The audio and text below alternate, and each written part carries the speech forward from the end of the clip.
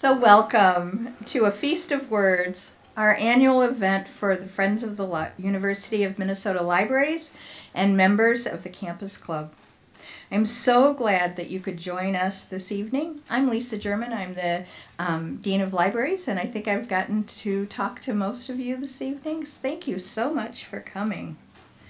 Um, each year at this event, we get to shine a light on the impressive and impactful scholarly work um, conducted by the University of Minnesota's faculty members.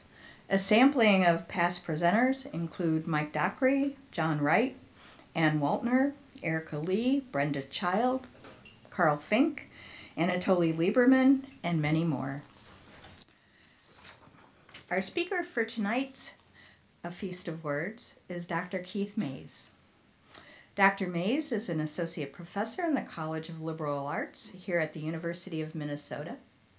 He is also a Horace T. Morse alumni, distinguished teaching professor, director of the Center of Race, um, Indigeneity, Disability, Gender and Sexuality Studies, and and the associate dean in the Office of Undergraduate Education for DEI initiatives. The title of his presentation is Pursuing Diagnosis Academic Underachievement and the Racialization of Special Education in the Public Schools. Relates to his 2023 book, The Unteachables Disability Rights and the Invention of Black Special Education.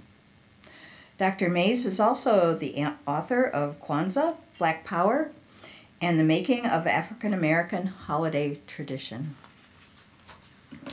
We are thrilled and grateful and privileged, and I'm honored to um, have him with us here tonight. Before we hear from Dr. Mayes, however, I'd like to acknowledge the peoples upon whose land we meet. The University of Minnesota, Twin Cities, is built within the tw- traditional homelands of the Dakota people.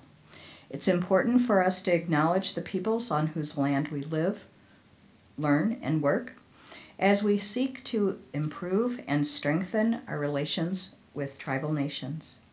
We also acknowledge that words are not enough. We must ensure that our institution provides support, resources, and programs that increase access to all aspects of higher education for American Indian students, staff, faculty, and community members. And now, please join me in welcoming Dr. Keith Mayes.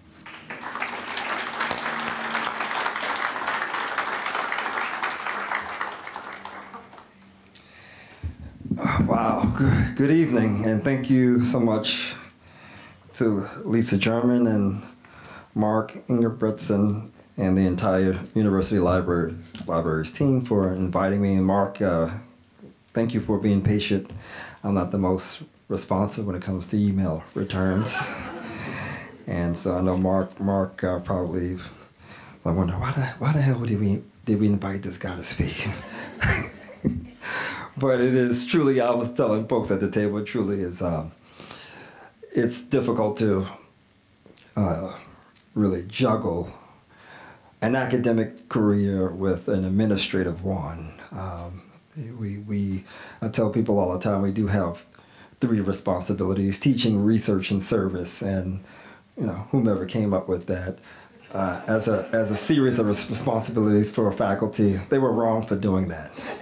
Uh, and or I'm, I'm crazy to try to attempt all three at the same time. But I'm so so glad to be here, and I think that um, I tell people this uh, too that I'm probably I had to rank them in order: research, teaching, and administrative. I would um, rank research for me as a ten,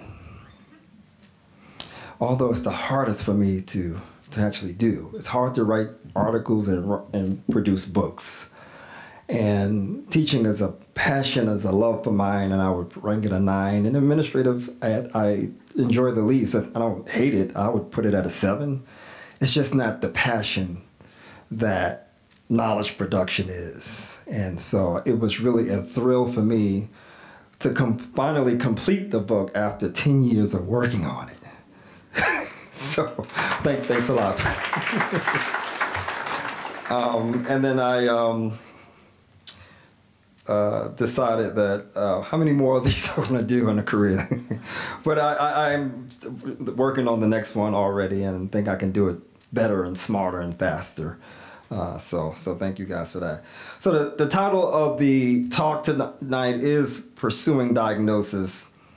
And the reason why I chose that title is because I, I believe that psychologists, particularly educational psychologists, pursued diagnosis when they created uh, this discourse uh, around educational disability. But that title really is tied to the next iteration of The Unteachables, which is a book on black uh, student behavior. And I'm looking more uh, at how um, not educational psychologists created discourses around black disability, but how clinical psychologists created a discourse around so called bad black behavior. But I think the two projects are really close together. So the next book comes out of my chapter five on EBD. Uh, but EBD, uh, and I'll talk about this a little bit in a second, uh, ends up being a milder form of, of black comportment. Uh, and some of the more egregious forms are what ends up uh, on the DSM. And what ends up on the DSM is not necessarily uh, what young black youth act out. It's a function of how clinical psychiatrists understand uh, black youth behavior. So that's uh, the next project, but you know I'll speak to a little bit of that uh, toward the middle of the presentation. And certainly this book is about uh, academic underachievement and the racialization of that particular discourse. So I want to start off by saying that unteachable, it's not a label to attribute to a child, but unteachability is an analytic, which is to say it's a careful and systematic study of how adults characterize student performance, behavior, achievement, learning potential, or the lack thereof. An analytic is the study of language and concepts and I talk about unteachability being uh, the ethos of inclusion and exclusion. So I use this whole dichotomy of inclusion and exclusion to talk about the birth of special education education because what what much of that commentary is about in the early 20th century is about who is not in, who's not supposed to be in general education. I'll say more about that in a second. Unteachability is based on the idea and the practice of sorting and removing. Uh, this analytic describes all manifestations of unteachability in the system of education.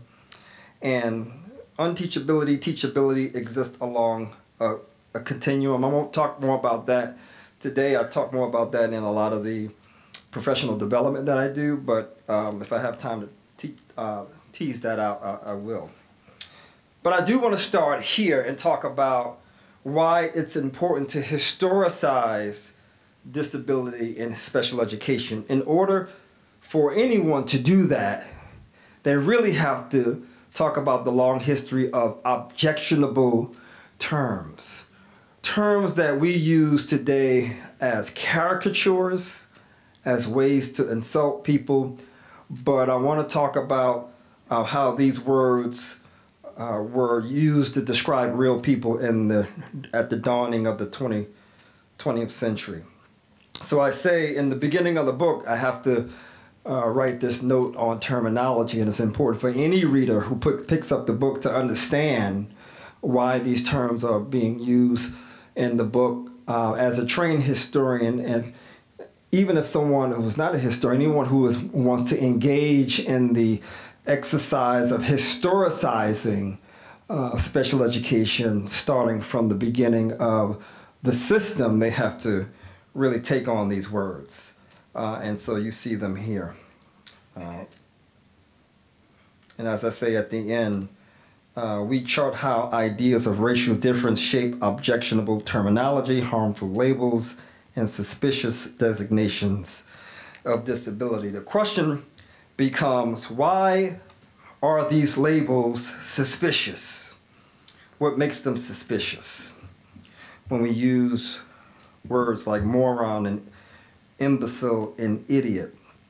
And as I talked about this book, and I should say this because I think it's important for me to say, especially as someone who's a historian of grassroots movements, somebody who uh, studies organizations and ordinary people who um, are about engaging in certain activities for social change.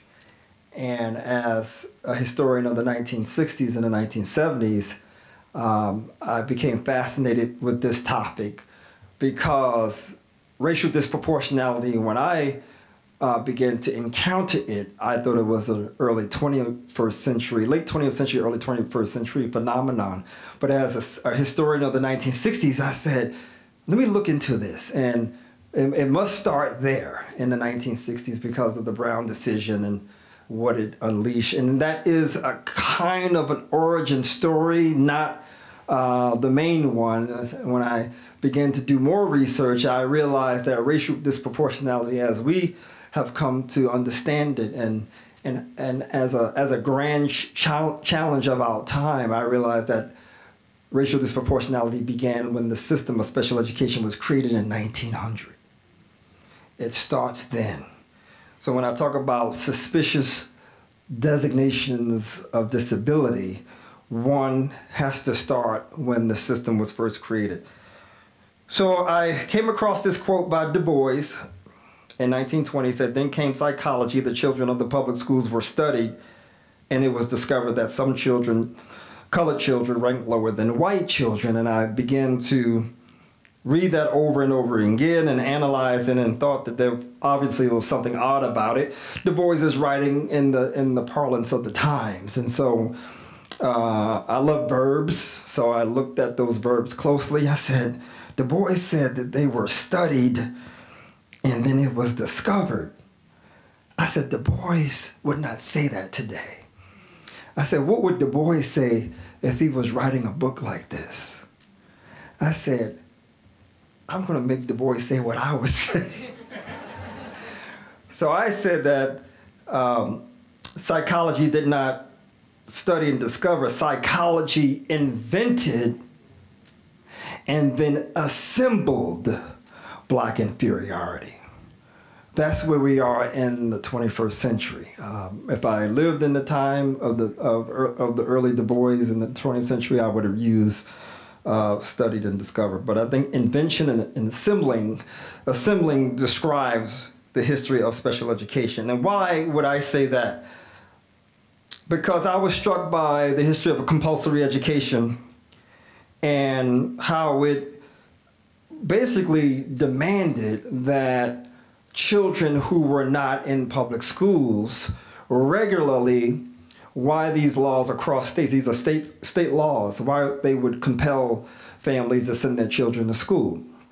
This is the industrial age uh, this is the age of efficiency uh, the economy is growing in ways that it needs uh, an educated workforce, uh, not the kind of educated workforce that we have come to think about in the late 20th century, early 20th, not a college educated workforce, although uh, those folks were valued, but they need folks who, who at least can achieve a high school diploma. And so we need folks to go to school uh, uh, early and stay, stay in school and graduate, or uh, receive a modicum of skills that would uh, work uh, in the industrial economy. But these laws, I, when I was reading the documents by special educators, superintendents, and others, they didn't like compulsory attendance laws, right? People like Edgar Doll and others said that, why are we forcing kids to go to school? And so why, I said, why would they critique compulsory attendance laws? Well, they just told you what they thought about them. Attendance policies that required the mass schooling of children, uh, compulsory education was criticized because it tried to teach everything to everyone, sending all children to school regardless of their mental limitations. Doll was the leader of a school called the Vineland School in New Jersey.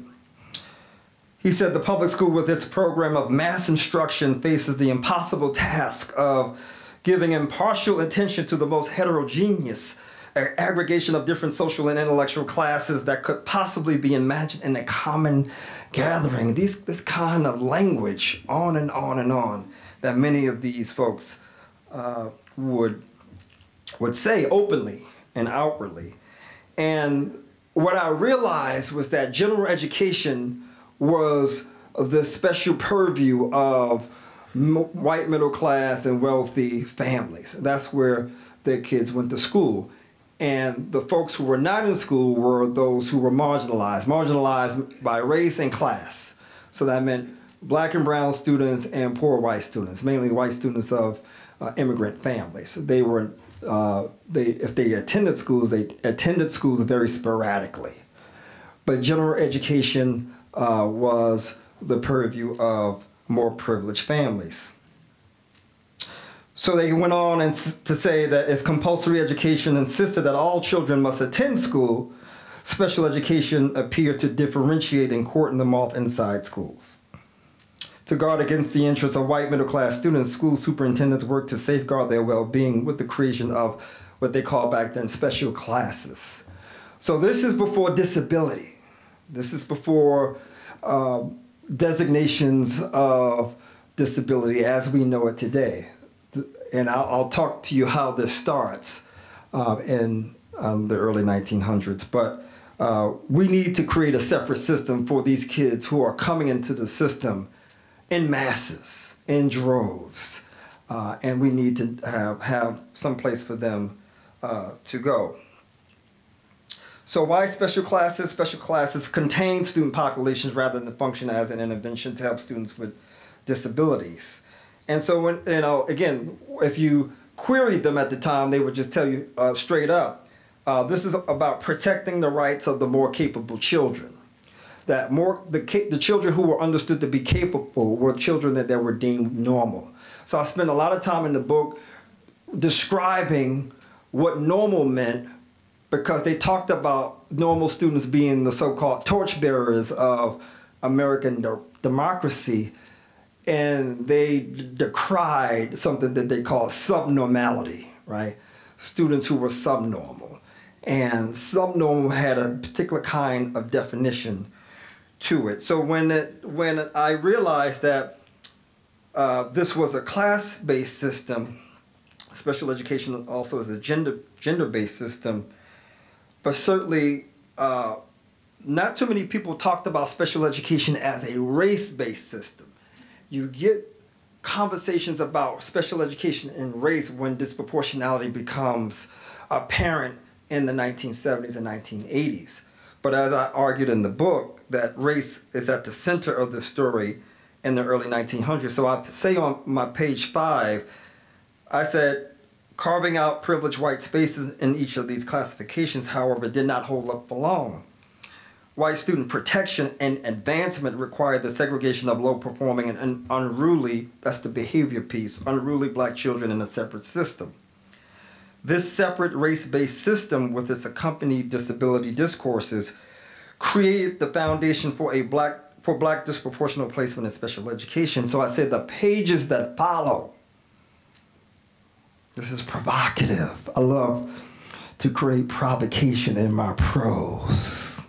And like I said, she gonna give me all the reviews on the book, which have been good, I think. But there's some people, you know, say they're gonna hate on the book. I had a couple of people who are in special in the field of special education that said, Keith, they said, I'm in this listserv, and they heard about your book. They pissed off. I said, who, who are they? They said, ed psych people, like special education. I said, well, I'm a historian. Uh, I understand that they may be uh, upset a little bit, but it's my job to, to historicize. So this is what I said as a major, as a major part of my argument. Uh, the pages that follow historicize how race shaped ideas about disability, and then in turn how disability shaped ideas about race in a reinscribing feedback loop. Black students were not placed in special education because they were incontrovertibly disabled they were placed there because they were incontrovertibly black. Far from being undeniably disabled, placement practices consign black students to a resegregation scheme under the auspices of special education. I just went there only because the sources just told me to do it because it, it, these sources screamed out that, you know, hey, listen, it's like tapping me on the shoulder, Edgar Doll and all these. It's like in superintendents back in the early 20s, hey, hey, Keith Mayes, this is what we did. We're right about it. Tell that story. And this is a quote I want to read. I want you guys just to look at it real quick. But this is how they thought about normal, so-called normal and subnormal children. And even in the early days of special education, they thought there was too much attention being paid on students who were marginalized coming into the system for the first time. Questioning, like, why are we doing this? Why are we spending all these resources on these students? Um, and, and, it said, um, the most that could be done uh, is to render them, in some measure, self supporting. Perhaps the ultimate solution of their problem should be treat them as wards of the state. You know, again, this, this notion that they don't belong in this space called general education. And special education seems to be capturing the attention of many people who um, undoubtedly would like, who would love to help children who may not have uh, all of the resources. And so this is when I talked about this notion of focusing on those who are more privileged, this is what I mean. Obligations to the normal child. Okay. So, so I, in the book called Special Education, an early version of risk management, uh, special education emerged to prohibit students of color and to a lesser degree children of white foreign-born parents from accessing general education classes. Indeed, the concept of educational risk has been misunderstood. Students of color were not at risk, but exhibited perceived risk to middle-class white parents who wished for their children to learn in race and class segregated environments. The question I have for you, and you don't have to answer it, is that is this still true? that there are those who wish their children to be separated based on race and class. So the question for me was, who's at risk and what does that mean? I turned that around and said that the folks who are at risk are the children who are privileged. They are, they are at risk of losing their privilege with the influx of those who have less pri privilege coming into the system. But again, education has this tendency to turn things around and say that the, the folks who are who hold the risk are the are the folks who um, have all the margins, carry all the marginality. So who is normal? The normal normal means the absence of pathological symptoms. Again, the ed psych folks. So psych. So ed psych, like all uh, subfields in education, are rooted in a certain kind of scientific understanding, and they may look at medicine, the field of medicine, to uh, allow that field to inform how they uh, develop their own discourses and practice. So systems of pathology are characterized by the biological symptoms of disease. This is Mercer, who wrote a great book in the 1970s on uh, mental retardation, intellectual disability. But here's the thing, the statistical normal is the concept of the normal curve or the frequency distribution. It defines abnormality according to the extent to which individuals vary from the age of the population on a particular trait. So the question of who is normal in the medical model means the absence of organic disease. Sick children under that model are few and far between. The normal conception in ed psych means that if you fall below the average or the mean, you are deemed statistically sick. So on a psychometric test, anything that is one or two standard deviations below the mean, according to the ed psych folk, you were subnormal, you were abnormal, you were sick. Under that model, I argue that millions of children could be rendered sick after scoring below a certain range. That range was mainly 75, 70, 75. I'll talk about learning disability, reading dis- disabled children. The, the mean may be um, 80, 85, or even it could be 110, 115, 120. You can still be learning disabled and have an IQ over 100. But for intellectual disability, it was two standard deviations below. So that meant that many children would enter the system uh, being labeled intellectually disabled because of the new psychometric understanding of who was well, who wasn't. So who's well, who's sick, who's capable, who's incapable, who's white, black, brown, who's middle class, who's poor, who's deserving, who's undeserving, who is able body and mind, who is disabled, and who belongs in general education. And those who don't belong in gen ed, they should go to special ed. This is how they mapped it out, straight up. This is the dichotomy that they created back in the early 1900s. And the question is do we still live with this dichotomy? So, as I said before, at risk or pose risk, risk to whom? The historical question is not how educators and psychologists identified difference. I understood difference and risk to be the same thing, but how was difference imposed on children and used against them as they entered the school? How did educators, educators and psychologists construct it? who determined that uh, risk mattered? Why did we have to label the risk? So, as I told you before, white middle class children, how many months did they attend school? Nine. How many days a week? Five. How many hours a day? Six. Here comes compulsory education, pushing all these children in the system. How many months did black and brown and poor white kids go to school? Four. How many days a week? Two. How many hours? Two, three, four. If most kids started first grade at six years old, when did they start, start school? Many of them. Eight, nine. So this is what the system is dealing with. You're dealing with a group of people who do not have the luxury of attending schools regularly. So here's the question I have for you. If they enter the system that way, why do they have to be labeled at all? Why are they not attending schools?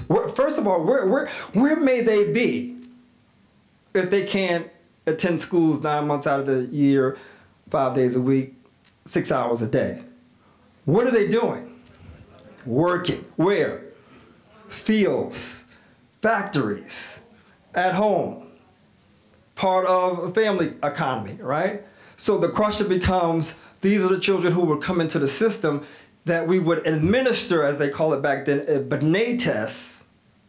And then that the results of that Binet test would determine if they were retarded or not. So the conceptions back then, and I want to talk about the power, uh, of labels in a minute, but I want to get to this slide because I think it was interesting. I kept seeing mental retardation, mental retardation. I'm like, what the hell is that? Okay, it's rooted in science, Keith. Okay, so I thought when I went there, I said, okay, I'll expect to find this elaborate definition of retardation. It don't mean a damn thing. Only that they only two grades behind. That's all it meant. So they didn't call, before they said mental retardation, they said they were age retarded or grade retarded, right? That meant that when they were given that test, the results showed that they may have been one, two, three grades behind their white so-called normal counterparts. So that was the evidence that they were sick, that they were, you know, undeserving. Psychologists come along and say that that sickness the evidence for it on the test is not just not about what? That moment in time that they took that test and may not have done well it's emblematic of what about that black brown poor white kid? Say it again. Inferiority. Inferiority. And that inferiority may be based on what? Genetics, and heredity. So then mental retardation becomes something that's understood to be something that's in the gene pool, passed down from generation to generation, and that's why we will develop a separate system with a special curriculum for kids who they that, that they deem undeserving, right? So then disability, again, when I said it, it's not something that is has been formed yet.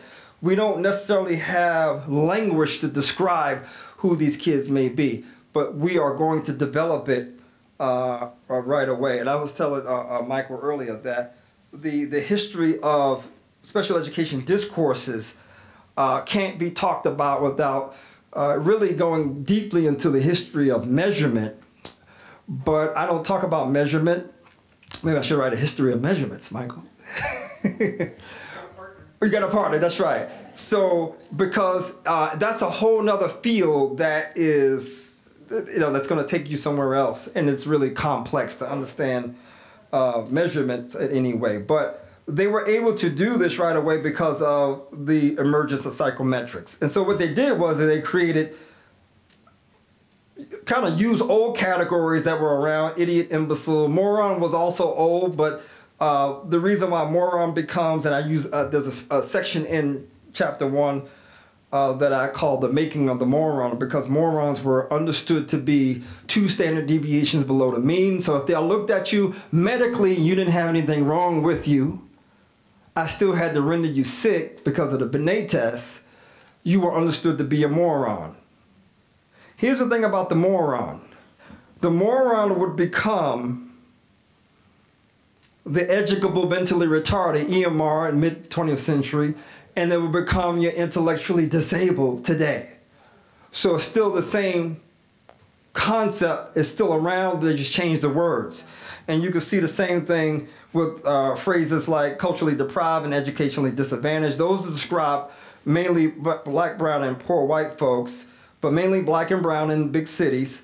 Uh, learning disabled, mainly white in the 50s and 60s, is going to turn black and brown in the 70s, late 70s, early 80s. I'll talk about that uh, later but they were understood to be borderline and brain injured, dullard, and then EBD. ED, emotional disturbance, was its own category. BD, behavior disorder, was a separate category. They get merged later in the 20th century, and I'll just touch on that a little bit because social maladjustment and juvenile delinquency informs our understanding of EBD because they are coming out of the same, they're grown off of the same tree. So here's the thing that's so interesting about it, as I just described from moron intellectually or mildly retarded to intellectually disabled. So in 1917, Walter Fernald, superintendent of the Faribault School in Minnesota. So here's the thing about these separate schools, training schools. All states had them. If you were an idiot or imbecile, and I should say idiot on the psychometric uh, scale, 0 to 25, imbecile was 26 to 50, moron was about 50 to 75. So if you were an idiot or imbecile, you couldn't go to the public schools mainly. You went to these separate schools, like in Faribault. They used to call that school, I have a photo here, and I'll come back to it, for the feeble minded. It's called the School for the Deaf and Blind today. Uh, it's on 35, 35, 69, 169, 35, 35. 35 East South, yeah, 35, 35 South. They merge, right, right, somewhere down there. but now let me ask you this where did the morons go to school?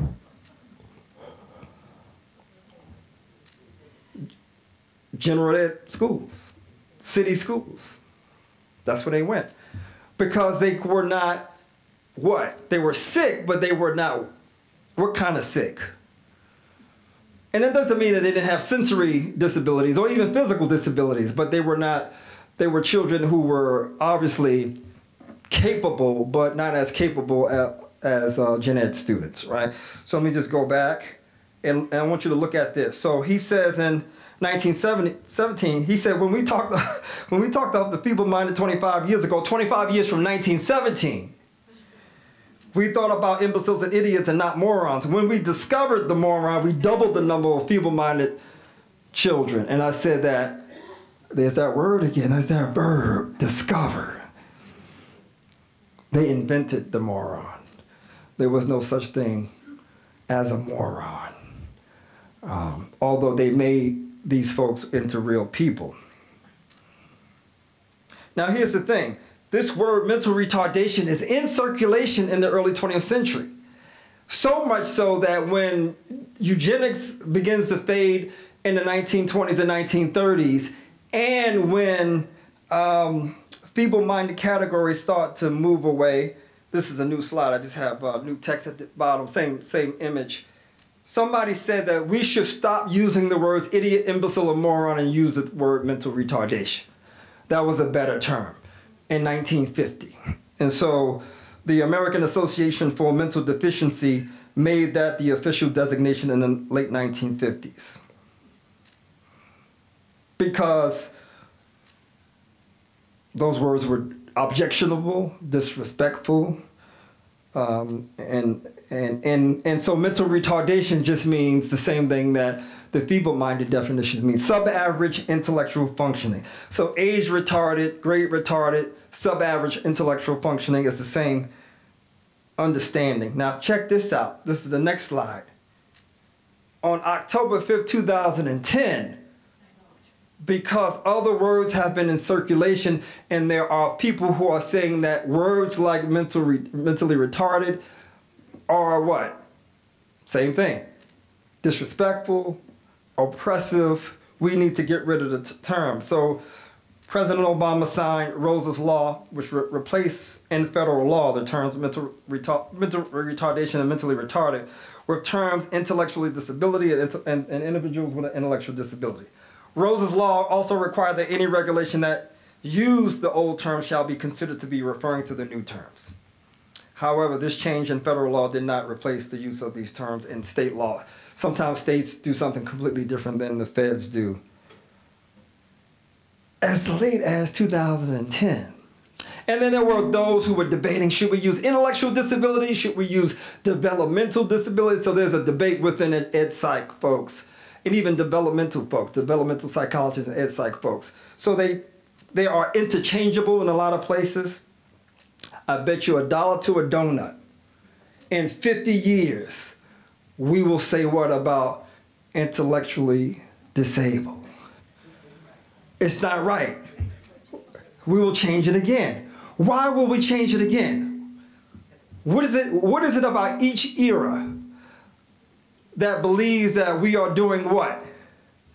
We're doing it right, we're doing it better than the previous generation because we just changed the words or we really have made major breakthroughs in the research. Which one is it?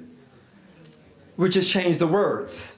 And I'm not saying that we haven't made strides in the research. I'm not, I won't say that at all, being an academic, but I would say that I think the conceptually, um, who we, how we describe people using these words, that hasn't changed. We, we kind of dress it up. And intellectually disabled seems fine until we all know, all of us no longer here, and then the next generation says, oh, wait a minute now.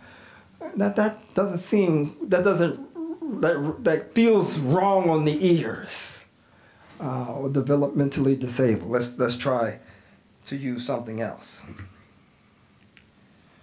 So the same thing has been true with the history of learning disabled, slow, slow learners, dull brain injures, and this was changed as well. Uh, but here's the thing I want to talk about, uh, and I don't know how much time I have, but I want to talk about the evolution of behavior categories because I think it's important for us to understand how black behavior is on a continuum. So there were students who were ED in the 1930s and 1940s. There were folks who exhibited conduct problems and there were folks who were engaged in juvenile delinquent behavior. Same kinds of behavior traits. So the trait psychologist, again, another here's where clinical psychology starts to emerge, and personality psychology, uh, with the likes of Allport and others, would begin to figure out, okay, these are the behaviors that these students are exhibiting coming out of the mental hygiene clinics or psychopathic hospitals. We want to study them. The case history is going to be important here because the case history is going to tell us everything we need to know about children We need to take the information from the case histories and make symptoms and syndromes out of them. This is the beginning of uh, behavior categories writ large. But as we move into the mid 20th century, we will understand these behaviors in a different way. And I don't have time to talk about it here, but even autism, uh, an area that we revere now for so many different reasons, actually comes out of a long history of emotional disturbance. And there were lobbyists, and I'll talk about this in a second, who, and mainly professional lobbyists and parents, would say that we no longer want our children to be classified in a certain way. And it really put pressure on the system, mainly lawmakers, to change the rules, to change the policies.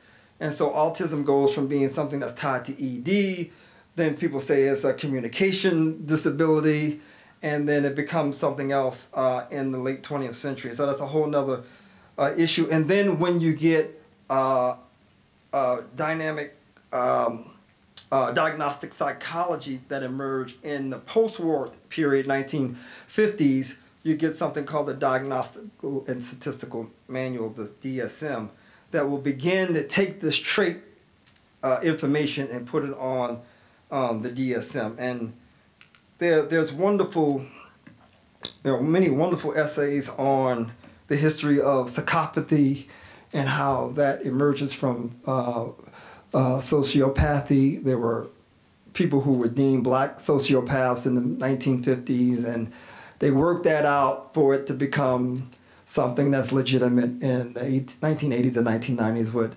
antisocial personality disorder, which is on the DSM. But again, all of these, every single label that is part of any taxonomy, any classification system one of the things that fascinates me as a historian is that they all have long histories. And they start somewhere and they wind through the 20th century. And much of the understanding is hidden. We don't understand the long history and certainly we don't we may not really know how we got here. So i just have some traits that are on the screen that describes different kinds of students. So you have person, personality problems and conduct problems. And i want you guys to take a look at this and tell me are there ways in which they could be racialized to describe certain kinds of students, right? And they were. Uh, so as you can see on the next slide, uh, folks who were understood to be externalizers uh, were mainly black and brown, and those who were internalizers were mainly white. And these traits show they show up on different diagnostic categories uh, associated with different disability labels. And so for your externalizers, they would say stuff like, well, the, the behavior that they're engaged in is a choice that they're making. And then they would say, with the folks who were internalizers, who were mainly white, well, it's kind of out of necessity. What do they mean when they use the word necessity? Say it again. Okay, so not a choice, meaning that there is something what? Within the child that has what? Gone wrong. There's some internal wiring that is not functioning properly, which makes the acting out one of necessity. Whereas the folks who engage in these behaviors on the left, my, your right, my left, I'm not sure how it's showing up making it feel as though these folks are engaged in this deliberately. And I'll talk uh, one second about how they understood black disability. Disability that's not necessarily something that's coming, that's, that's something that is, that is inside the brain, as it were. They understood black disability to be part of their entire makeup of their culture. So I'll get to that in a second. So they, they sort of begin to take these traits, make symptoms and syndromes out of them. And people like Ackerman, Jenkins, Quay, Achenbach, all these folks focused on deviant behavior. And they just said the over inhibited child were the folks who had those traits and they were personality problems. The unsocialized aggressive child were the conduct problems and the socialized delinquent child also the conduct kids as well. And Quay just broke it down to personality and conduct. So personality are your ED kids, a lot of white kids, and then your BD kids or your black and brown behavior disorder, those are just folks who were externalizers. So internalizers, externalizers, your personality kids, and your conduct problem kids. Then Brown v. Board happens. And Brown v. Board actually begins to speak to intellectual disability as well because they talked about the so-called rights of the handicapped. And this is where it gets really interesting because you have school districts, mainly in the South, after the Brown decision, because Brown said what? You have to destroy all your dual schools, your dual school educational system, black schools, whites, you have to merge them and make them one school. Well, DC said, the hell with that. If we got to do that, we're going to make tracks inside the schools. Academic tracking had been around prior to Brown, but it becomes more pronounced after Brown because if we had to bring all the kids in the building, we have to figure out ways to keep them separate. So uh, the DC schools had the special academic track, which they called the retarded track, was mainly black kids.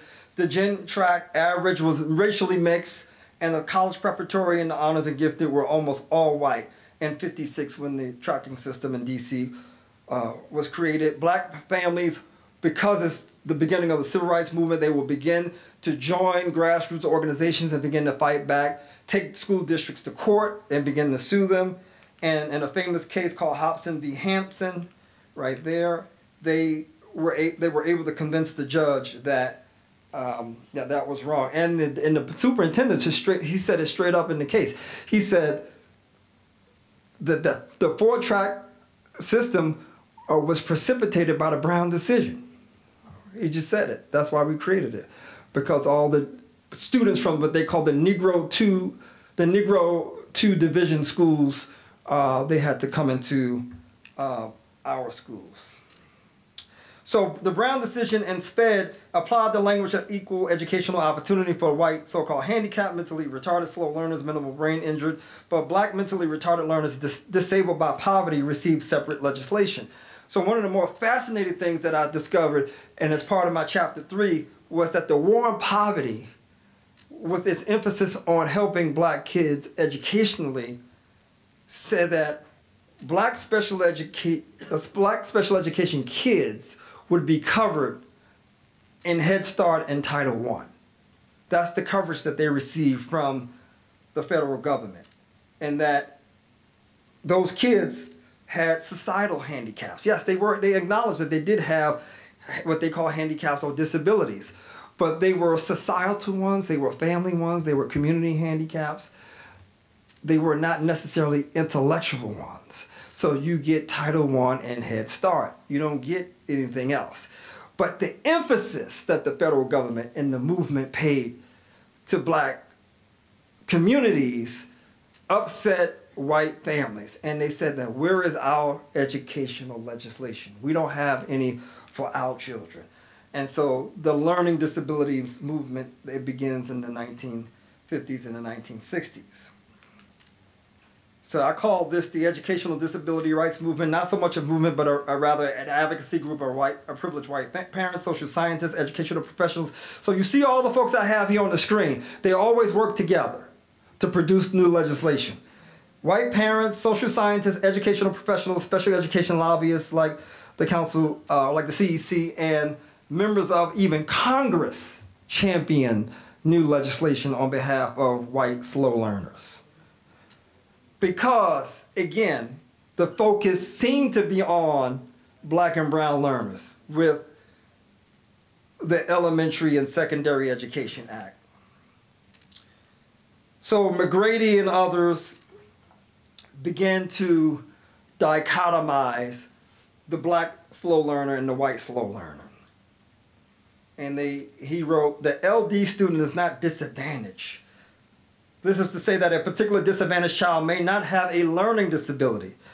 A learning disability is not the result of disadvantage per se. The learning dis disability child needs a program different from that child who is culturally deprived, who is educationally disadvantaged.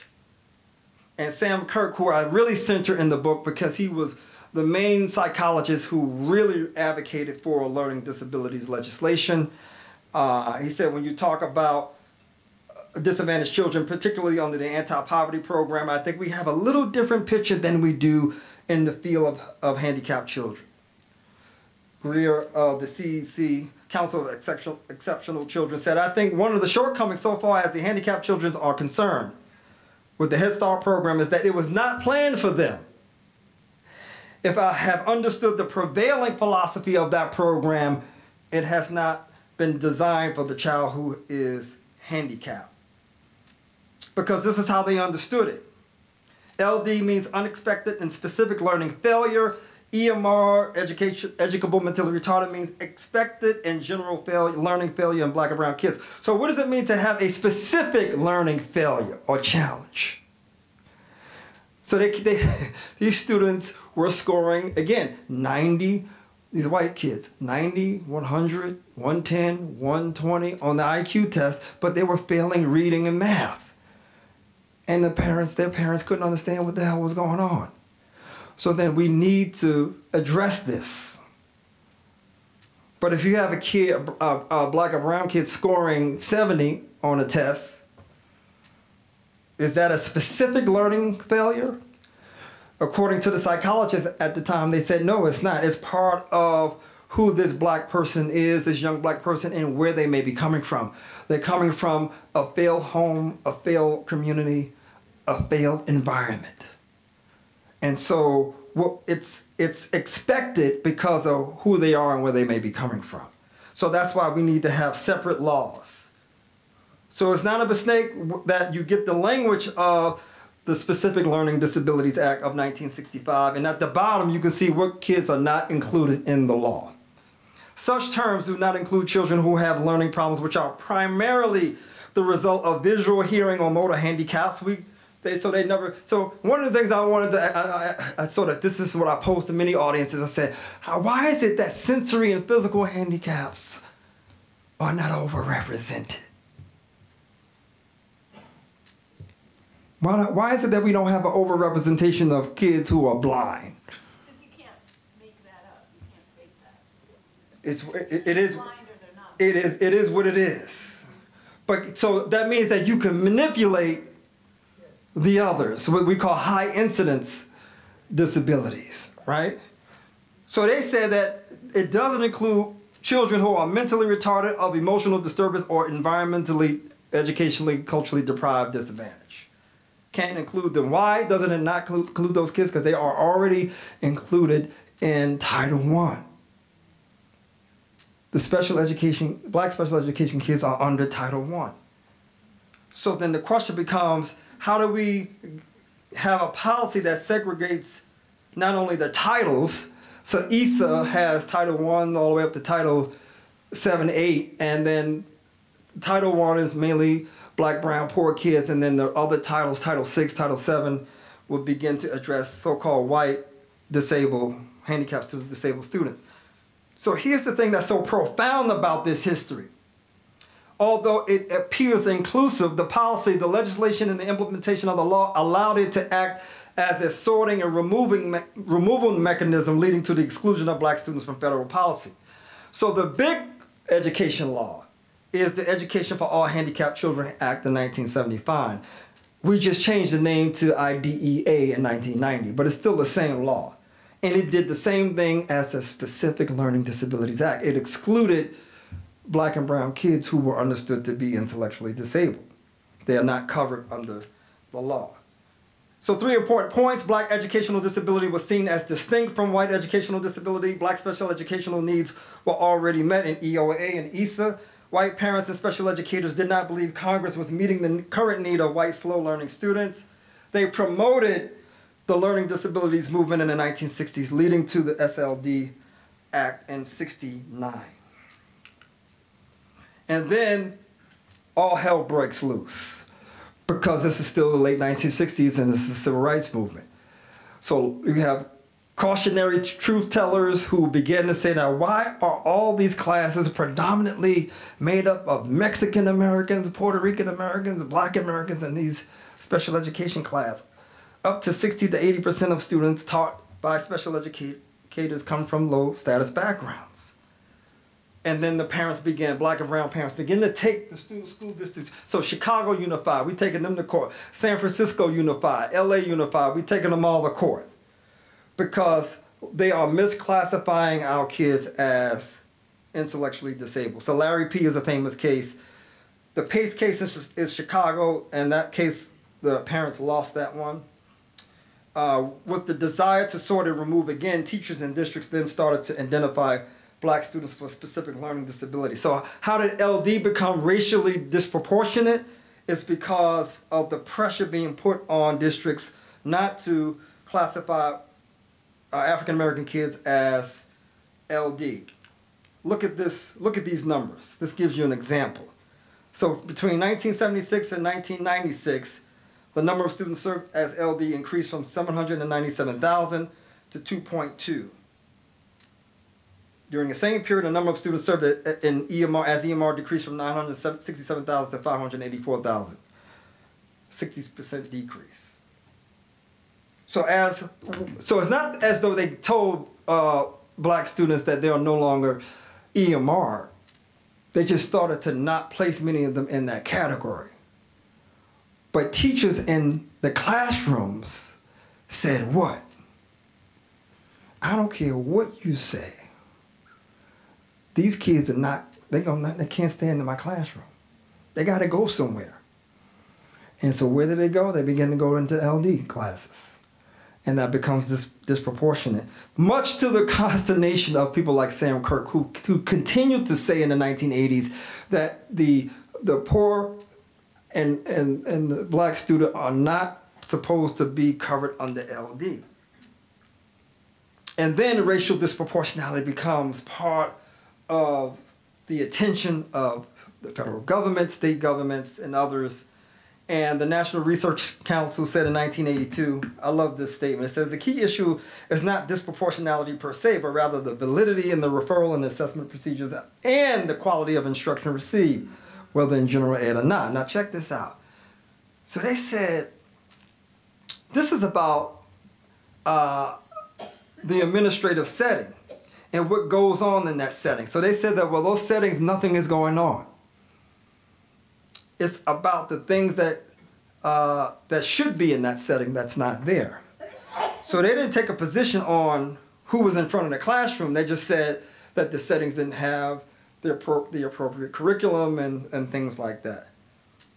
So, just to fast forward a little bit, that's why we have gone from this notion of administrative settings to instructional settings. Because we need to stop the tide of kids going into uh, special education. So, the resource room, the self contained classroom, the special day school, the residential uh, school, the hospital, when we strip it and deconstruct it and really see what kind of interventions are in there, many people would argue that not much. So when they created the tier system, the tiered system being RTI first and then it's MTSS now, that we should begin to identify students who may be struggling in tier one, which is the gen ed classroom, and then begin to make interventions in tier one, tier two, tier three, and we did that in the early 1990s and the early 2000s. But here's the thing did racial disproportionality and overplacement stop? It didn't stop, it continued. So, what does that say about the, tiered, the new tiered system? It's just another box for a lot of teachers to check to get them in at some point, right? But that was supposed to serve as a break, the pre referral instructional setting process. And then the effective instruction movement starts in the 1970s and 1980s. So we should actually understand a student's char actual characteristics as a learner on, on that particular disability classification. He's saying finding and adapting, this is Heller, instructional treatments to individual student learning differences and characteristics became the centerpiece of the response to intervention treatment. With treatment meaning the variations in the pace and style of instruction. And again, by the time we get to the 1990s, one of the things that gets argued is that we have allowed too many people without a scientific understanding of education to offer interventions in our schools and in our classrooms. And so the return to science is this new movement. And we're going to put this in policy. So all of the existing policies, whether it's IDEA, ESA, Higher Education Act, uh, if it's not evidence-based, it's not good. So it has to be something that's part of everything, not just tiered instruction and RTI, but it should also be part of quality indicators in teacher practice, uh, this whole notion of highly qualified teachers, and certainly and it's part of the science of reading debate right now. If it's not evidence based, it's not good. That's what they say. So the jury is going to still be out on that because science has made a comeback, a special comeback. I just have this here as a, a brag, uh, part of my brag, swag, brag, brag, swag. So, and I want to just wait before, before I'm not finished yet. Um, but I, but I, but I do want to, uh, and I'm gonna open up for Q and A in, in a second. We can't hear you good. Oh, we can't hear me? Oh, Let me, let me grab it, yeah. I'm actually a mobile lecturer, so Stephanie was playing with me earlier. Say, I know you're gonna start walking around and preaching, so I haven't did this because I'm a little hot in this turtleneck. But um, so the the the book and its ability to sort of try to carry the story forward, to connect it to what's going on today. You know, I try to do that again to try to historicize the president is hard, but there are some things that I'm looking out for. So one of the things I'm watching in the present moment is this whole notion of dyslexia, because that's part of learning disabilities. But here's the thing about dyslexia. There are some white parents and some advocates saying that we want that to be its own separate category. Why would they begin to say that? Rebecca Bays, how you doing? I, I just, just caught my eye. How you doing? You doing good? Sorry, somebody who I've known for a long time. Um, so why would they want dyslexia to be its own special category? Folks who are, because LD has become what? It's become huge. It has a lot of different people in it that it covers. There are many kinds of learning disabilities. Dyslexia is one, but dyslex, dys, uh, dyslexia is what? Mainly populated by whom? In a lot of districts. A lot of white students. And where, so what are, who are black and brown LD students? What do they have? What kind of learning challenges do they have? Say it again. I thought I heard it. Just learning Just are just straight learning challenges that may not be able to be described, right? They just are there and, and say it again. They don't necessarily have a label. They don't necessarily have it labeled. They could be and Parents don't have the resources to go get a dyslexia label. Absolutely, absolutely. You got to go to a pediatrician. A lot of people are coming up to me and saying, you know, Mayes, you need to write something about the pediatricians. They're getting on my damn nerve. Cause, because they coming into school telling the, the, the, the, the principal what to do with the kid, with the child.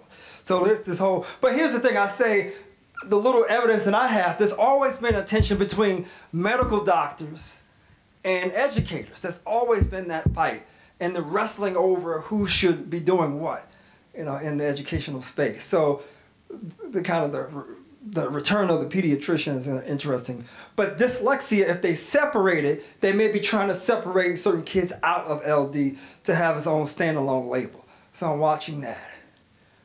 I'm also watching what's going to happen to MTSS because they said that the tiered system wasn't enough, RTI. We need to have a wraparound approach. So will the wraparound approach make a difference? Some people say yes, some people say no. Then it may not. What else am I watching for?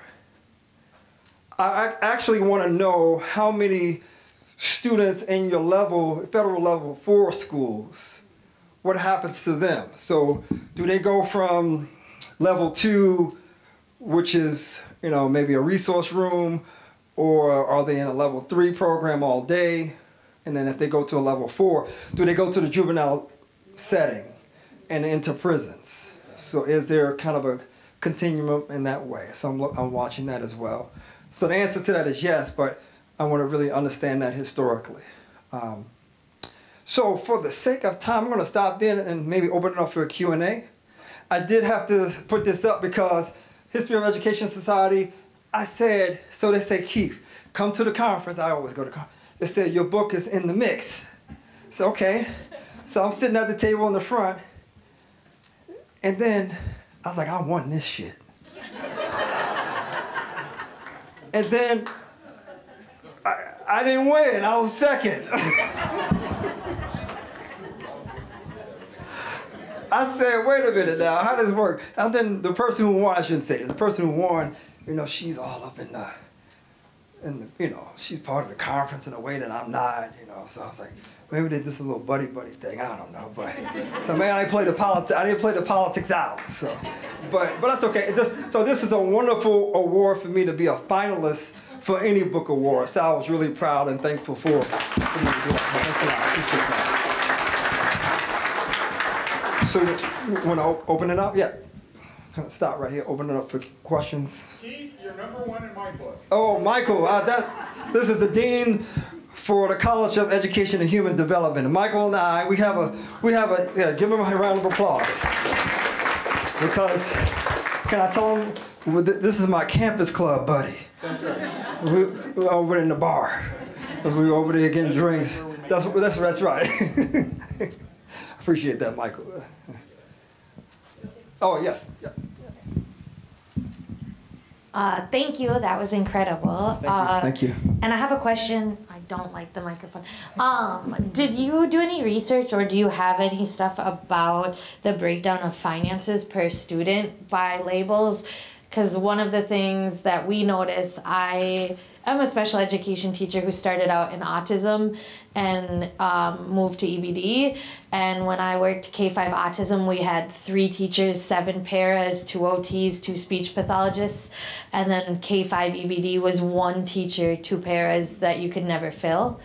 uh, and so we know what the breakdown of dollars is today, but it's hard to find that number. It is. And I don't have the number, but I know that the resources flow to certain disabilities. Autism is one, dyslexia is another.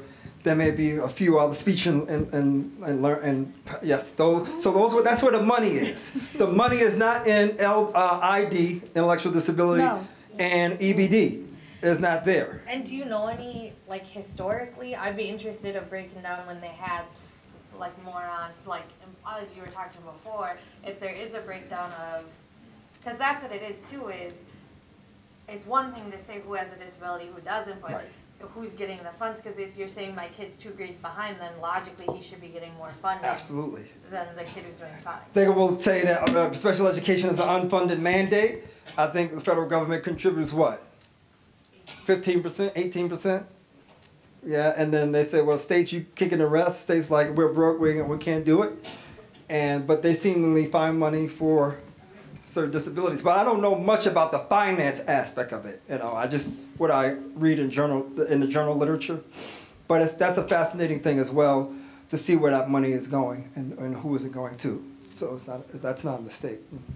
Anybody who has information on that, that'd be great. Yeah, but there's another question on there. Yeah. I understand you're a historian. And um, I appreciated your analysis and the deconstruction of these categories.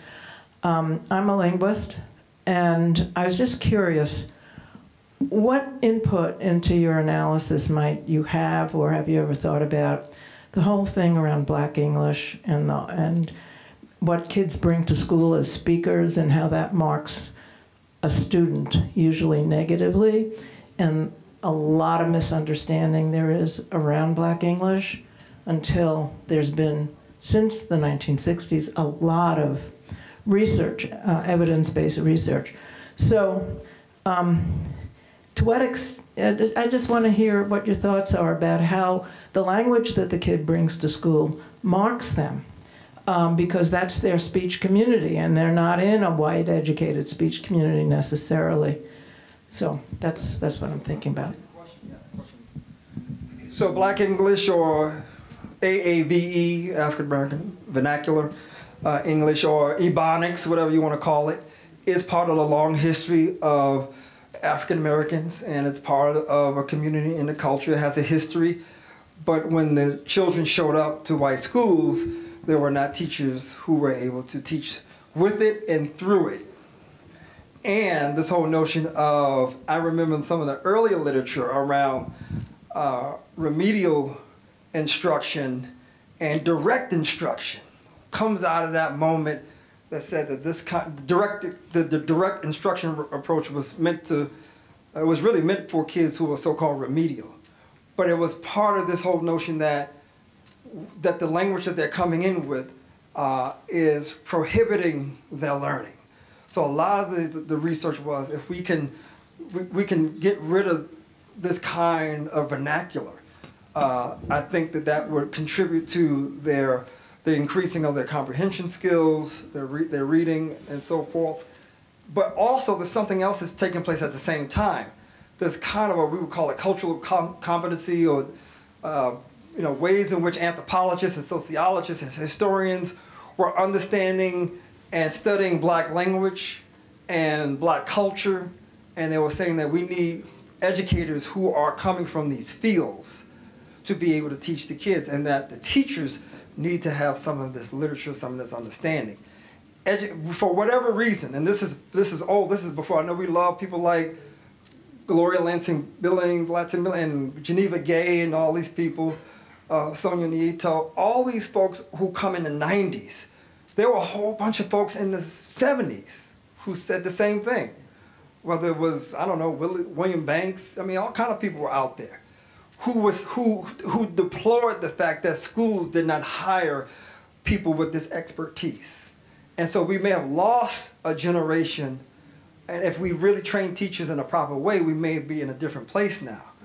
But I would even argue even in 2024, we still haven't taken that literature seriously. So uh, this entire literature emerges in the late 60s and early 70s that was going to use what the students brought into the classroom and train teachers uh, in how to use the, the language of the community and the vernacular. But it, it never really materializes on a large scale because I think the system was resistant to that kind of change, that kind of transformation taking place at that time that was being demanded. And I would say that maybe the system, maybe the system, you told me not to stand underneath that, maybe the, maybe the system was a little bit more open in the 90s when Gloria and Geneva uh, really began to educate all of us, you know, whether it was the Dream Keepers or whatever it was. I think we were open to that conversation, but just a little bit more than we were in the 70s, not much more.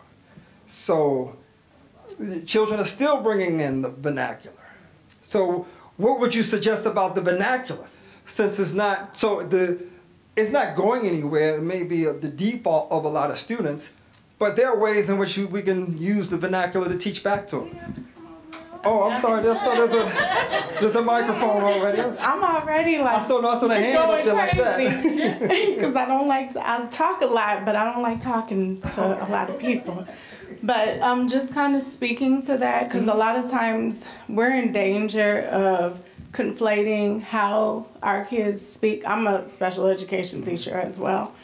And we conflate that with incompetence, but it's not. And one of the things that I teach my students, um, we teach at a detention center, and it's predominantly students of color.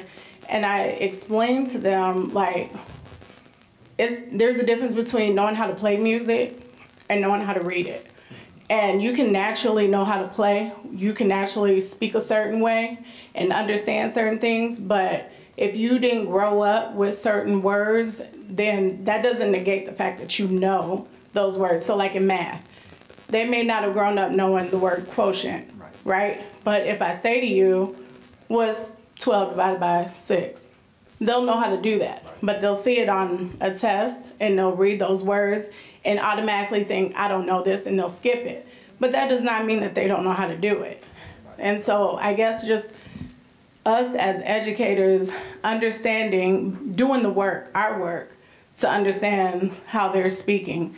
Because just like we expect them to understand how we speak, we have a responsibility to also meet them where they are so that they don't feel inferior or they don't feel incompetent in those classes. So. Well said. Thank you for that. Appreciate that. Oh, yeah. Oh, you want to respond to it? Yep. Can I just put a, put a PS on, put- Peter, put a PS on that? No, it's okay, it's okay. The issue is, kids who speak a different dialect, and I mean dialect in a scientific sense, not as a negative, are actually either bidialectal or multidialectal. So if you're hearing someone speak in a certain way, that doesn't say anything about what they know, the standard English that they understand their teachers using, and they understand standard English because they're bidialectal. They just don't have a speech community that they want to use standard English in, except in the school system when it. And and the second thing is that you you said is how we speak marks us. It tells a lot about us, our age, where we come from, many different things. And if teachers or educators are the people who make up this stuff, um, you know, if, if they're prejudiced to begin with, they're going to hear how someone speaks in a negative way. And then the third point is there's been a lot of language prejudice in the United States for many things, not just African vernacular. Um, the English only movement was very big in the 1940s, and it still is. We want to be a monolingual country, despite the fact that our utility bills are probably in six different languages, you know? So, anyway, uh, I'll stop. Yeah, many many iterations of English only movements throughout the 20th century. Yeah, it's it's wild. Yep. You want? Yep. yep. One more question here. Yeah, thank you. Uh, first of all, thank you so much for um, this information. Um, I'm curious about because of the special education uh, model, the discrepancy model is very much based on intellectual tests. Right. And I'd be curious about the historical transformation of intellectual tests and and the, the bias that exists within them and that contribution to the over-identification of students. Yeah. So that you, uh, somebody wants to answer, but I'll just say I'll open by saying that the discrepancy model. That's okay. No, no, no. I like that. Oh, that's right. Go to Mike. Go to Mike. But the discrepancy has been around since the early 20th century. It becomes prominent in the 1970s when they were trying to figure out how to identify people for SLD, and they came up with all kind of complicated formulas to do that. But it's so interesting. I'm fascinated how they are really are pronounced about using a particular kind of a policy and practice to determine who's disabled, and then quickly move away from it. So it's still around, but they've moved away from it uh, to a large degree because of the RTI. But also, uh, like they've moved away a little bit from IQ scores, because discre- that discrepancy model was a critique of using overly using IQ scores in that way. But they both still are with us in ways that have not really uh, changed the, the outcomes of, of placement, uh, unfortunately, although they're trying to make it a little, little bit better. You want, you want to respond? Yeah. But you don't need a mic. That's No, right. I just, I, you can kick us out. We've been kicked out of many a Oh, no, no, conversation. But, no, the thing about the intellectual testing, and I was gonna ask you too, in Mm-hmm. addition to financing, if that plays in. So we're special educators and we give these tests, and before, le don't repeat this to anybody, I'm not trying to get fired. Legally, you're only supposed to read certain stuff, but I always tell my kids, remember before we take this test, it's written by an old white dude. Because there's like a picture of a girl on the phone and it says fill in the blank, and it's she talks on the, and one of my, our kids goes on the daily. And then I reminded him, old white dude, and he goes on the phone. And so it's not that the kids can't do it, but if you go back to the original IQ test, it was written by a literal Nazi who was trying to find ways to keep black kids out of college. And we legally, right now, cannot change special ed testing unless you can norm it against the special ed test that exists. So there is no way to take, to make a new culturally competent special ed test because it wouldn't compare to the test that exists. Exactly. And we have questions about mortgages, about model trains, about dad giving you a ride to school if you miss the bus. Blacksmith, like all kinds of stuff that if you didn't know those words, you test out in third grade whether you can read or not. And we can't, as educate, you can't even challenge the system because the law says you can't change an IQ test if it doesn't match an IQ test that exists. Absolutely. So We- what do we do? We, so the whole, We solve that right now. no, I appreciate that. So there's a, a, a anti-bias movement around testing in the 70s and 80s. And one of the things they said, they focus on the language of the questions. But one of the things they didn't do was to really attack how these tests were normed. And it doesn't mean, so there's a, there's some folks who are part of the uh, African American uh, uh, Psychological Association who came up with their own tests for black students. And uh, Robert Williams was the guy's name in the 70s. He said that he, his question, so he used the same logic. He said, let's put a question on the test that said, when is Washington's birthday? That's a norm question.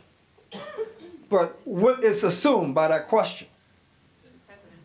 You talk about the President George Washington. He said, I didn't mean the president. I said, I meant Booker T. Washington. When is his birthday? So what he was trying to us he was trying to get at the whole question of yes, the questions are biased, but the only people who may actually know that may be a black youth audience as opposed to a white one. They wouldn't know that he was referring to book. So I want to just get these as many I'm a single mom of five kids, um, and um, I have five biological children. Three are white, two are um, Mexican American, brown, um, and so I'm I'm seeing these issues in my family.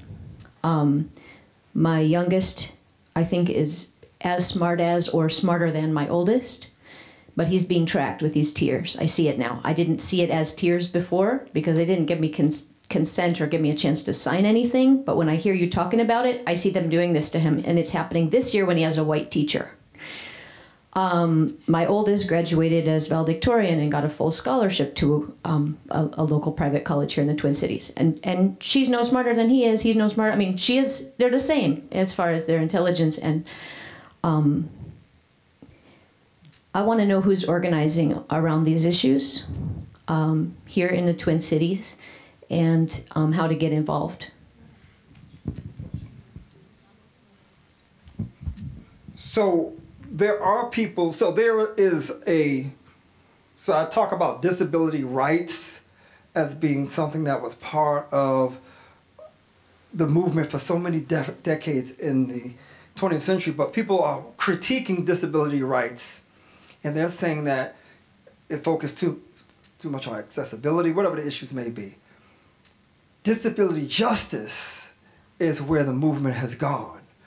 Because they say students are saying that okay if you said that i am intellectually disabled or i'm ebd you've told me that i am and i've had to wear that, that identity for years. So now let me tell you something about my ebd how am i intellect let me tell you about my disability. So students the student voice is almost absent from not only the iep process and i know there's some progressive stuff around iep trying to put student voices in it, but you know they said parents are involved in it. Uh, that's debatable how much parent voice is there. Supposed to be by law, but there's not really a student voice. So the grassroots movement that are that may be calling for reform, are, that are part that's part of a more of a, a larger disability rights movement. People are saying no, we need to. In, uh, organizing around disability justice and may even call for the A word What's the A word? Abolish. So people are talking about that, especially racialized disability and especially the high incidence categories, right? And so it's not all of special education, but there are a few groups who are organizing around it. But I'm gonna be honest with you, in the research I counted very few because it's not like prison reform or abolition of prisons where you have this groundswell movement of different kinds of constituencies. Educational, special education disability doesn't have that grassroots movement yet. And I'm wondering if uh, that's going to ever develop. I suspect that it, that it will, but um, it hasn't developed to the same degree as other movements. But there are people out there organizing around it uh, within the disability justice space. I just wa- wanted to say I, I am a special education advocate, and there are special education ad- advocates around here, um, but it's largely run by the white community. Um, I happen to work for an organization called the Multicultural Autism Action Network, which serves families primarily in our immigrant communities. But there are groups like EdAllies, uh, like our own organization, that are focusing specifically on the issues of communities of color and special education. So that work is happening, but not at a huge scale in Minnesota. There's plenty of room, though. Everybody's welcome to join in that effort who's interested. One more? No, that's it. No, no. Okay, no. I'm, I'm this is the dean here, so I'm gonna, I'm gonna do what the dean tell me to do. So thank you. Thank, I appreciate you guys. Thank you very much. Yeah, I know you got some words. Oh, thank you. Um, I don't think we've ever had quite such an engaged audience and such an engaged speaker. So thank you so much. The fact that you are all here, you're still here, you're interested, and um, um, well, I know I learned a lot, and I'm going to go buy your book now. um, just I just want to say thank you to all. I'm going to throw out my remarks. Sorry, Mark. Sorry, Linnea. But I'd just like to say thank you to all of you. I'd like to th- say thank you to the entire staff of the university libraries and to the campus club for such a great partnership. And thank you very much.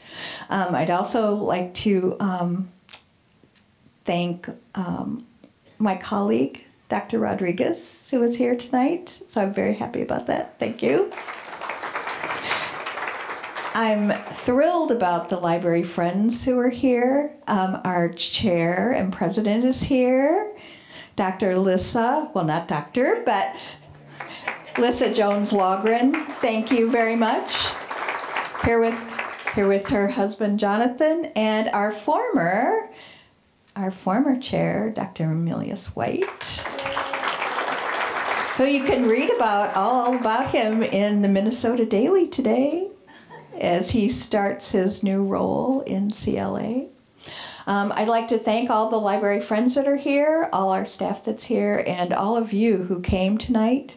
You may not be friends now, but we hope you'll um, be friends. Uh, all you have to do is go on our website and read more about our library friends. Um, for anybody who's interested in coming to the libraries, um, I already know some folks who'd like a tour, so I'm going to be talking to Chris, um, who uh, Kris Kiesling is our director for Archives and Special Collections, and um, she, she does a fabulous tour. So thank you very much and does a great job. Malika, thank you for coming. It's always good to see you. Malika um, Grant is here, and she um, has the, um, she will always have my gratitude for chairing a committee uh, that um, helped choose our uh, associate university librarians, and that was no small feat. So thank you, Malika. And I hope you all have a good evening, and most especially thanks to Dr. Keith Mayes, who um, is trying in his own way to make the world a better place. So thank you.